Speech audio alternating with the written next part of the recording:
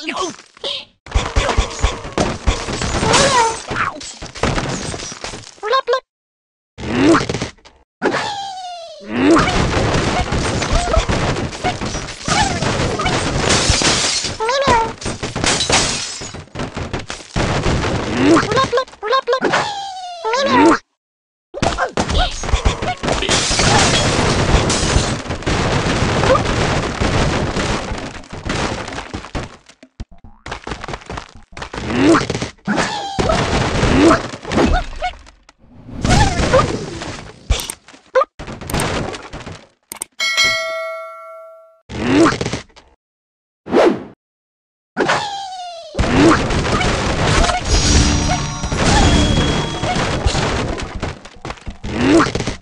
The best strategies you can find on the Cheesy Face YouTube channel.